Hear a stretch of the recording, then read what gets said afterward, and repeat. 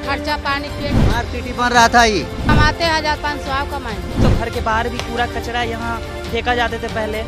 School में जो madam सब रहती है ना मॉर्निंग में सरकारी में कभी नहीं पढ़ाती हैं कोई बच्चे को सब बच्चा अपना फ्री से खेलता है।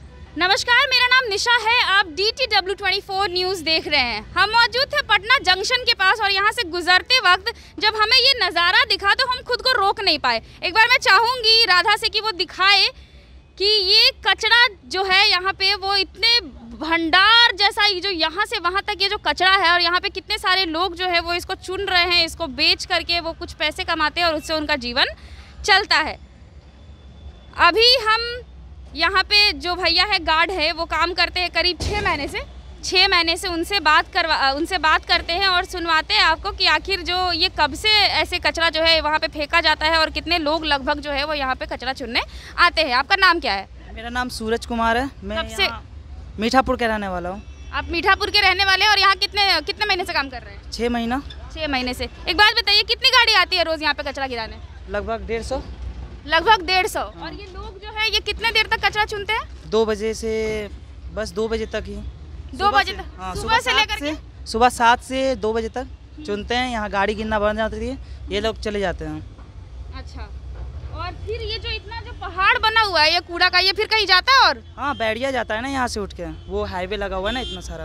अच्छा। इससे जाते हैं और कचरा गिरते हैं और यहाँ से उठ कर जाते हैं। बात बताइए यहाँ से इतना दूर तक जो इसका स्मेल है अभी इंडिया जो एक सर्वे हुआ उसे पटना को सबसे गंदा शहर भी माना गया है ये भी एक कारण है? जो इतना हाँ। कूड़ा जो यहाँ पे गिरता है ये इतनी दूरी कई किलोमीटर तक इसका जो स्मेल है वो जाता है ये लोगों को बीमार कर रहा है। एक्चुअली पहले भी ये चलता था ना और आज भी ऐसा है कि ये एक जगह इकट्ठा करके गाड़ी में गिराया जा रहा है और ऐसे तो घर के बाहर भी कूड़ा कचरा यहाँ फेंका जाते थे पहले लेकिन अब ऐसा गाड़ी खुलने के बाद कचरा एक जगह गिरना स्टार्ट हो गया है। और वैसे हाईवे से यहाँ से उठता है और गिरता भी है बस यही। रोज गाड़ियाँ लगभग डेढ़ सौ आती है कचरा गिराने यहाँ पे। और हाईवे से कचरा उठती भी है। यहाँ बहुत ज़्यादा था लेकिन बहुत कम हो गया है। अब आता है। बारह सौ गाड़ी आता है। पहले अच्छा पहले क्या था यहाँ जब कचरा अच्छा कचरा नहीं गिर रहा था तो इससे पहले यहाँ क्या था? स्मार्ट सिटी बन रहा था ये। स्मार्ट सिटी बन रहा था? अच्छा। सिटी के टेंडर हुआ था। टेंडर रद्द हो गया इस तरह से कचरा गिर रहा है। तो यहाँ से कचरा गिर रहा है। अच्छा पहले यहाँ बता रहे बकरी बाज़ार था कुछ अब कचरा बाज़ार हो गया। क्या स्टोरी क्या है? इसके बारे में हमारा मालूम नहीं। बकरी बाज़ार था पहले मतलब? बकरी बाज़ार तो बहुत दिन से था। वो अच्छा। पहले कोई पच्चीस साल तीस साल चालीस साल पहले से। अच्छा। यहाँ सब झुग्गी झोपड़ी बना के रखे हुए। सरकारी तो ज़मीन बहुत पहले से पड़ा हुआ है आज कोई सौ साल से था। हम्म, हम्म, हम्म, अब खाली करवा के जैसे खाली करवा के स्मार्ट सिटी लाइफ खाली करवाया था स्मार्ट सिटी बनेगा। स्मार्ट सिटी न बन के अब कचरा गिर रहा है। कचरा गिर रहा है। आप लोग आप लोग तीनों यही काम करते हैं? कितने आप कितने टाइम से काम कर रहे हैं? हमारा हो गया साल भर। साल भर हो गया। आपको भैया? एक साल। आपका भी एक साल हो गया। अच्छा एक साल में ये जो, जो लोग ये लोग कूड़ा चुनते हैं यहाँ पे इन लोग का रेगुलर रोज का है ये? हाँ डेली आते हैं और यहाँ से कूड़ा चुन के ले जाते हैं। और फिर ये जो कूड़ा ये जो यहाँ से चुन के ले जाते हैं कितना कीमत मिलता होगा इन लोग को? लगभग कुछ पता है आपको? ये सब जाने गया कि कितना मिलता है ना मिलता है हम लोग। उन लोग उन लोग से पूछ लेंगे। अच्छा ठीक है। सरकार कभी इसको लेकर के जो खाली करवाई कि स्मार्ट सिटी बनवाएँगे कचरा बन गया कभी प्रशासन ने इसके खिलाफ कभी यहाँ पे आया ऐसे जायज़ा लेने के लिए कि इतना जो लोग है वो गंदगी में रह रहा है पट सामने पटना जंक्शन है इतने लोग यहाँ से पार होते हैं इतना स्मेल आता है एक किलोमीटर तक इसके लिए प्रशासन कुछ क्यों नहीं कर रहा है? प्रशासन क्या करेगा? नगर निगम का जैसे ज़मीन है नगर निगम गिरा रहा है इसके लिए प्रशासन क्या करेगा? सफ़ाई करवा कर स्मार्ट सिटी के लिए बना था ना यहाँ पे हाँ, तो स्मार्ट सिटी के तो जैसे क, नगर निगम के कहना है कि हमारा ज़मीन है गिरा रहे हैं कचरा है अभी खाली है गिरा रहा है। पटना सबसे गंदा शहर क्यों है? इसका पूरा एग्ज़ाम्पल जो है आप इस वीडियो के ज़रिए देख सकते हैं। आपको दिखा दिया गया है इस वीडियो के माध्यम से कि यहाँ पर करीब 120 130 गाड़ियाँ रोज आकर के कचरा गिराती है और लगभग इन जैसे कितने ही लोग हैं लगभग कितना लोग आता है कचरा चुनने? डेढ़ सौ आमदी दो सौ इतना आ सकता है। दो सौ आदमी लगभग रोज। अढ़ाई सौ तीन सौ लाख पड़ रहा अढ़ाई सौ तीन सौ लोग जो है वो यहाँ पे कूड़ा चुनने डेली आते हैं। 130 गाड़ी जो है वो यहाँ पे डेली कूड़ा जो है वो गिराती है। और आप ये देख सकते हैं ये पूरा जो एरिया है वो कूड़ा से भरा हुआ है। गंदगी इतनी है और ये छोटे छोटे बच्चे इसी गंदगी में आकर के कचरा चुनते हैं। सबसे पहले अपना नाम बताओ। राम विजय। किस क्लास में हो?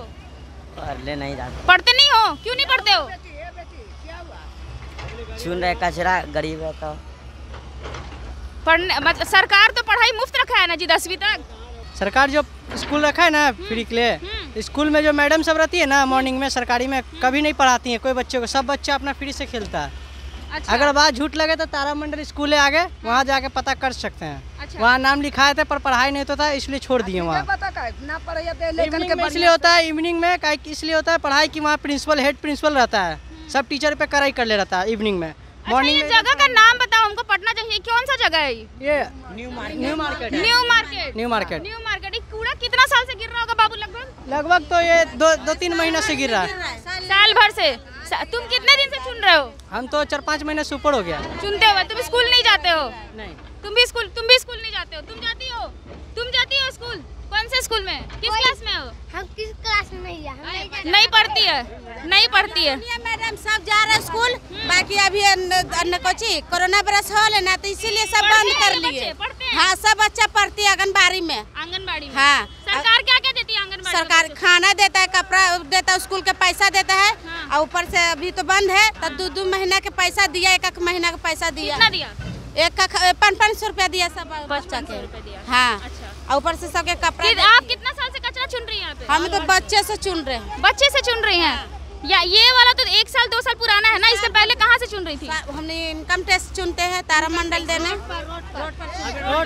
क्या कीमत मिलता है कूड़ा का आप लोगों को? कीमत मिलता है कि बेचते हैं तो ये होता है खर्चा पानी पेट। दिन भर में कितना कमा लेती हैं? कमाते हैं हज़ार पाँच सौ आप कमाए चार पाँच सौ रुपया। और कितना परिवार है आप लोग? पाँच को है। पाँच को परिवार है। क्या को बच्चा है? चार लड़की एक लड़का। चार लड़की एक लड़का पति पत्नी? तो मतलब छह लोग हुए ना जी? छह लोग परिवार में है और आप अकेले चार सौ कमाती है। सब कमाता है इन लोग भी चार चार सौ? ना कौन कमा लेगा? चार सौ इतना बिगाल है। आप खाली कमाती हैं? हाँ। अच्छा एक बात बताइए बच्चा लोग को जो सरकार जो है वो मुफ़्त में सरकारी स्कूल में पढ़ाता है दसवीं तक ज़्यादातर बच्चे स्कूल नहीं जाते कारण क्या है?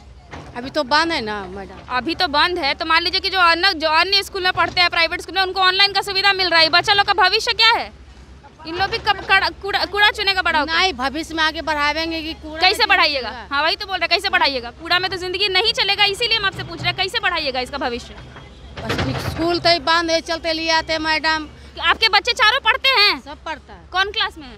करने गए बताइए इधर। कौन क्लास में पढ़ती हो जी? नाम क्या है तुम्हारा? मनीषा। सरकारी स्कूल में जाती हो पढ़ाई होता है? हाँ। होता है टीचर लोग पढ़ाती है? हाँ। कितना को भाई बहनों?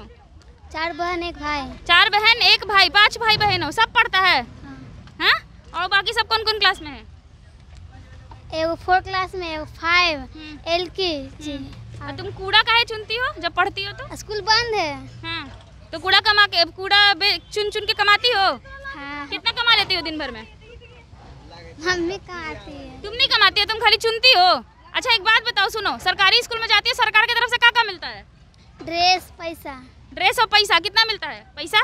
पाँच पाँच सौ। हर महीना हर महीना पाँच सौ रुपया मिलता है ड्रेस मिलता है खाने के लिए भी मिलता है? हाँ। गुटखा खाता है जी? ये दतवा कैसे हुआ इसे? बड़ू खाया। क्या खाया? बड़ू।